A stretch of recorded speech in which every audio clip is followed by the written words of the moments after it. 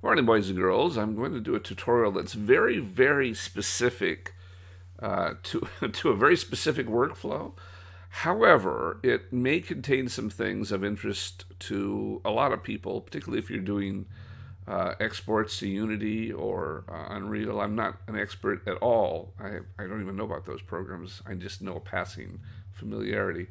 But I want to show you what I'm doing to get uh, my avatars into Anima which is this program that allows you to uh, generate um, paths and things. I think you guys have seen uh, some of the stuff like this. This is you can generate people and things moving around. I did my Knights uh, village on using this, and uh, it's just a really nice crowd generator program. And it's actually they've lowered the price, so it's very uh, it's very reasonable. But I want to show you how I get a my own custom characters into that. So real quick, let's go through this. So first of all. Um, first of all, very first of all, I go to Daz and I and I put together an outfit and a person. But you can do it from Character Creator 3 too. I'm gonna I'm gonna take that Daz character that I created and bring it into Character Creator 3. But the process is is exactly the same. Now I'm not gonna bake the textures. I don't really want those textures. So whenever you only want the the costume and the outfit, you just use basic.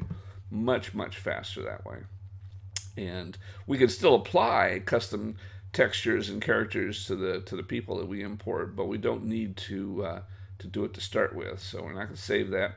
So I'm going to. So this has got a lot of stuff in it. So uh, I always check to make sure that it's all identified correctly. One thing you want to notice is this says the mesh is bound to the wrong bones. These hats, sometimes hats and accessories come in uh, incorrectly um, bound, and but we're going to show you how to take care of that. So I'm not really worried about that to begin with. So everything everything checks out. The boots are shoes, and everything else is cloth. So not going to bake the body texture again. That just slows things down. We don't really need that with clothing that's coming in from uh, Daz. So as it loads in all the stuff, first thing we're going to see is that the hat is going to be positioned a little incorrectly. I, I know this because all these hats are coming from the same uh, creator and they're all getting positioned a little bit wrong. So we'll look at these and so you can see that it's just it's just offset a little bit from the head.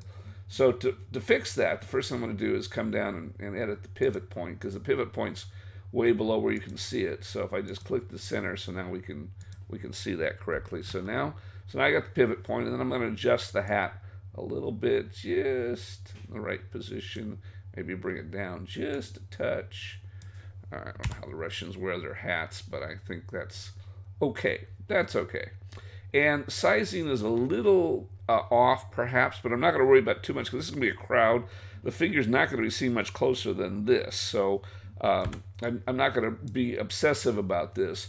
I'm also not going to run polygon reduction, although normally I would do that on all of these items, and that's I would strongly recommend you do that if you're going to bring them into Anima or any program that they're background characters. But in this particular case, if you can see those polygons, it's uh, they're pretty efficient already. This particular uh, items of clothing, all these items here are uh, very, very low polygons. So, uh, so I'm not really worried about it. If I was gonna, I'll select this jacket and see. But that would be one thing I would definitely do. So you can see how big those are.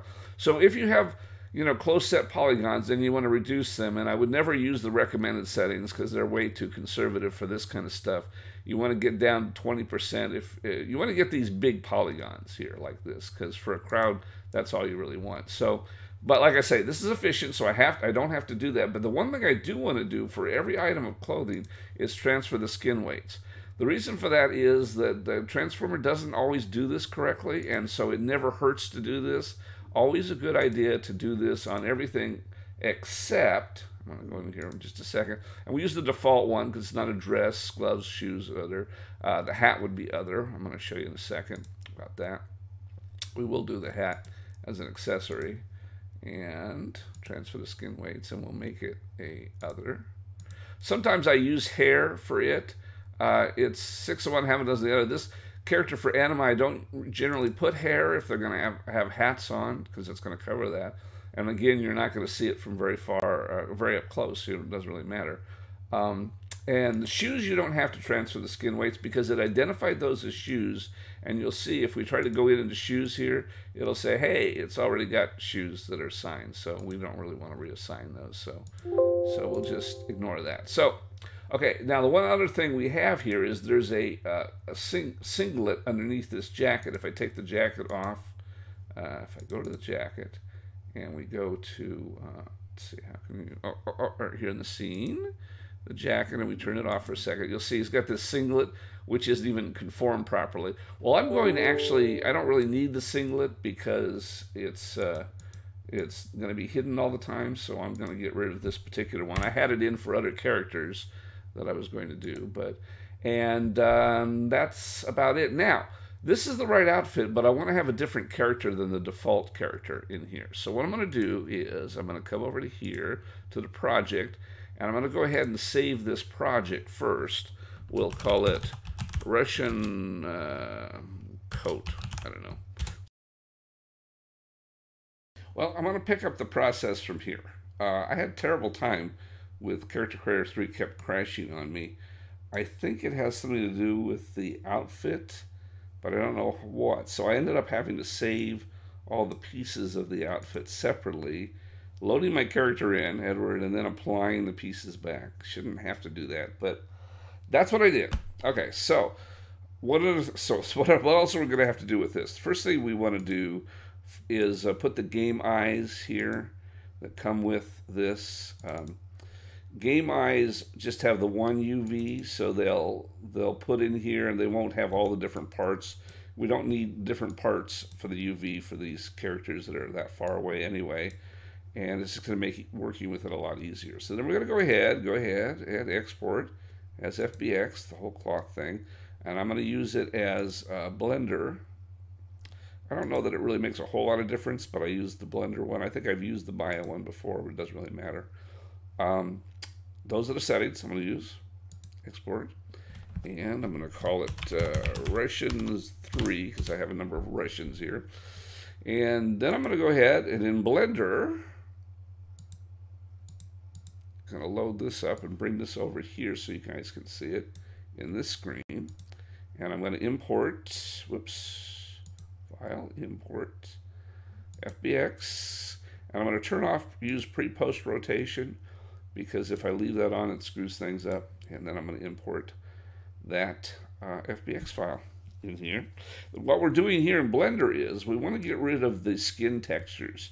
And you might think, well, Mike, there's a thing that says delete hidden textures, so why don't I just hide them in Character Creator 3? Well, that will blow up Anima. Uh, Anima does not like that for some reason. Um, has something to do with the weighting, I think. So I do it here in Blender. This works. Blender works. I go into edit mode. I turn off the uh, back face. So I want to select both faces at the same time here because what I want to do is I want to delete all of the skin that's underneath it so it won't be seen so it won't come out while the character is moving around.